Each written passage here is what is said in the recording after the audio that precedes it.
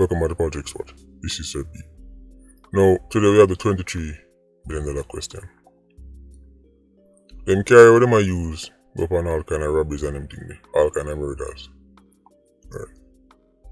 When is the authorities going to start holding the owners of these vehicles truly accountable? I could talk about it. I could also touch upon the fact say eh? People continue to claim say, you know, I just one of them things there. There's nothing you can do. Anytime 87s pull up to rob you, right, you're going to be laid out flat and the money will go gone. Right, I just saw it go. By them thing there. Salt is salt. Nothing can be done. No amount of preparation. And also the whole inside job right, argument. We are here. The possibility that it's an inside job. Let me start off with right, the whole, you know, can't do nothing. Now let's get something straight so. We've seen a mentally ill man with a fire hydrant make 87 stone cool. Two people are gassing up these 87s. Like say, when our text go are total. Making them sound like Rambo, Terminator. Nothing you can do, you were attacked by a superior force, it happened so quickly. Utter rubbish. The idea that, well, them pull up in a car, them have big guns, so what you want them do? All of this you can't do nothing. No amount of preparation. Rubbish. Man. Anybody say that, man, is not in the field, never has been. The defensive position you take up right, should greatly increase your chances of holding off any attack. Let me repeat myself. The defensive position you take up right, should greatly increase your chances of holding off any attack, regardless of the number of attackers. An excellent defensive position can make one man hold off an entire platoon. Let me say that one more time. An excellent defensive position can make one man hold off an entire platoon. He can hold off an entire company if the position right, is really that good. You people talk about standoff. You ever watch the, the, the big, when you look on the, you know, the big news stories, especially in Uncle Sam place and you know, Canada and place, and you see right, one man hold up, right, and the entire police force are shoot off him, and it lasts 19 hours. You ever seen that? A whole day with a shooting. One man hold up somewhere and then bring out the best, then bring out the, the negotiator. Surrender now, what do you want? Cut the crap. The biggest problem with taking up said defensive position right, is usually time because you know, ammo will start run out. Right. Food, water, and them things that will start becoming to play tiredness. But guess what? 87s don't have time.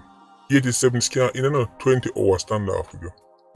Them need to be in and out right, in a couple minutes maximum. You only need to hold off for a couple minutes.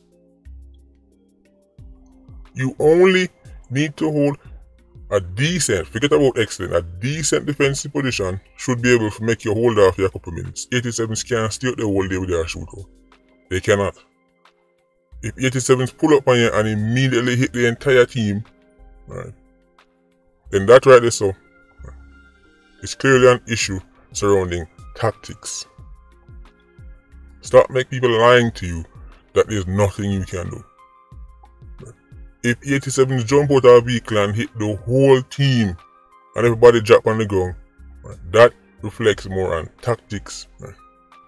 They say luckily Ironman doesn't get attacked by foreign countries because these people would have the entire country overrun and surrendering an a day. Talking about, well, there's nothing you could have done. Right, no amount of preparation could have helped us. I mean, never in history has a small force ever hold off a much larger force. Never been done. When I tell people that, it made them think to themselves, oh well, right, one of them thing there. Right? No point revisiting tactics. There's no point revisiting how we deal with certain things. There's no point revisiting our SOPs because all the experts them said no amount of preparation could have helped us. There's nothing we could have done or one of them things.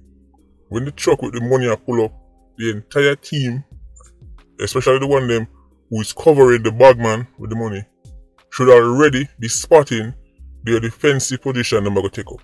Right? And that position should help them out, right, in case of an attack for at least right, a couple minutes. Long enough 87th take with themselves. And how one weird that defensive position is taken up. Right. Well, I said, I know what kind of training I go on. Know, these companies, but then again, right, don't take my word for it, I'm just a little YouTuber. In the Sus video, you heard when C4 said, Black man are costing renting car, right, to go kill people and a man take the car gone and buy dead coke. It's actually very common for gangs to rent car, rent private car, go up and shoot in a car back.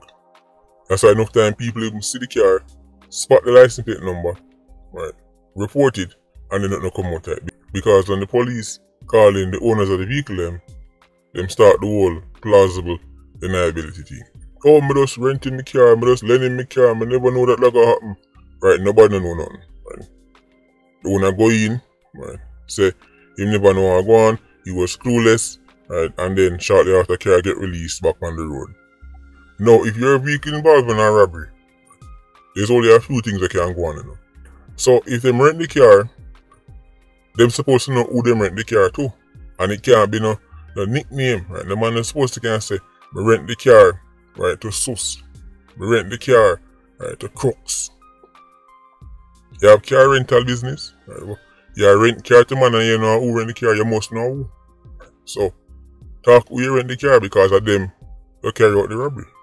Where them name, where them live. If you say, well, you're letting a bridge in the car, alright, where you bridging name? Where you bridging? Because right, a Euro car go to the shooting. Now if you say, well, oh, the car was stolen. Okay, was the car reported stolen before the robbery took place? Because that's one next site for the gang use. Them rent out the car, and them rent out the car, and then if something go bad, and the car get catch, then them say, oh, the car was stolen. Stolen when? It's just too easy. People going to one station with an anti story and get to where the facts say, then vehicle get used, right, for murder and robberies. One car do all 20 drive by and the owner just keep going at the station, telling the same old story over and over. Right? And then next thing you know, car get released back into position, carry the back on the road. Make us talk about that. But that's something will happen right across the board. The man might use regular private vehicle, go up on shooting, go up on murders. People are spot the plate them, reporting it and nothing happen to the people that own the car them. Right. Man just get the same Anansi story over and over. Now I want to touch my one final thing. Me say the whole argument surrounding, right, you know, if an inside job I go on the beryllium, it's possible. Right? It's very possible, but here's the thing. Whether or not it's an inside job or outside job, you're still have to go defend yourself when you get attacked. Whether it was planned or not planned, when the first shot fire, you're going to have to defend yourself properly. Right? So it's very possible it's an inside job.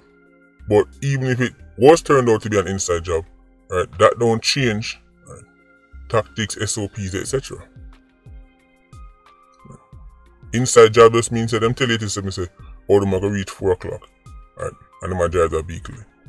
Okay, so them know what time you reach. That don't equal you're definitely coming out on the losing side of a shootout. It doesn't. When a police or a JDF unit is deploying in a community, uh, it's already assumed that somebody is going to call ahead and tip off the 87 However, if you drive in the community and get completely wiped out in an ambush, you can't then go back and say, well, you know, somebody tipped them off, so what could we do? No, that's not how it works. So, inside job, very possible. But inside job don't mean guaranteed destruction. All I'm saying is, all of these attacks so far, 87s are like 10 and 0. No losses. That's what's annoying me. 87s are taking no losses. Right? Against armed guards. You're making them look like Rambo, you're boosting their confidence. And they might come after more. Anyway, Patreon squad, big up on yourself. Yeah, yeah, you don't know. More life. Walter squad, stay circling. Yes.